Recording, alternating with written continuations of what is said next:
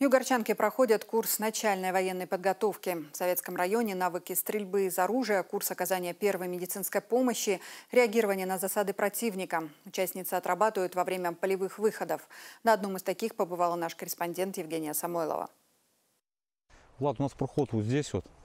То есть здесь надо заградиться. Граната учебная, леска бытовая. Минирование местности – один из этапов для отработки навыков начальной военной подготовки. Можно установить секунд за 40, за минуты за полторы. То есть в зависимости от подготовленности, от места, насколько необходимо замаскировать.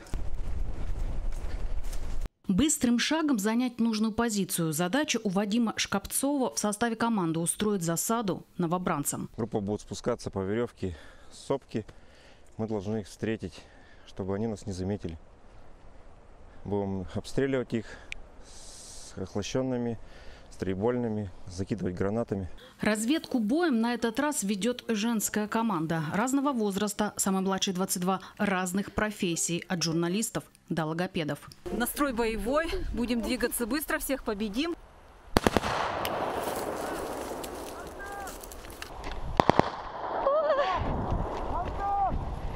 Нападение неожиданное. Группа отступает назад. Есть раненый. Медпомощь оказывается на месте.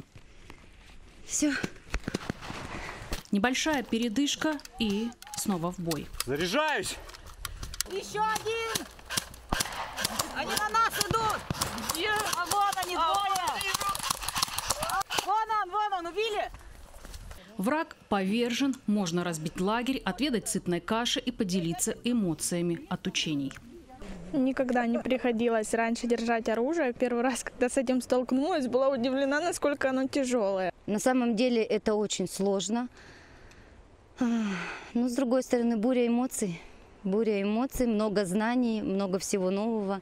Это очень интересно. Полевой выход – конечная точка курса начальной военной подготовки. Его запустил местный спортивно-патриотический центр «Оплот» при грантовой поддержке губернатора Югры. Как итог, 18 часов теории и практики в команде с наставниками, имеющими боевой опыт. Инструктора мы все э, военнослужащие запаса.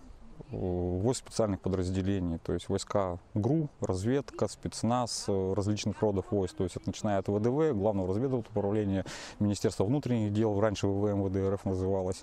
То есть каждый в своей специфике что-то знает, что-то друг друга добавляем. Ну и плюсом э, у нас сейчас ребята приходят э, в отпуска с СВО, они нас также подучивают, то есть у нас идет постоянный обмен опытом.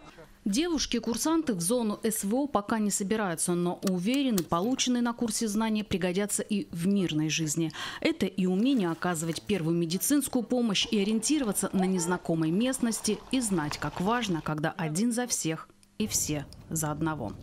Евгения Самойлова, Николай Чащин, Вести, Югория, Нягань.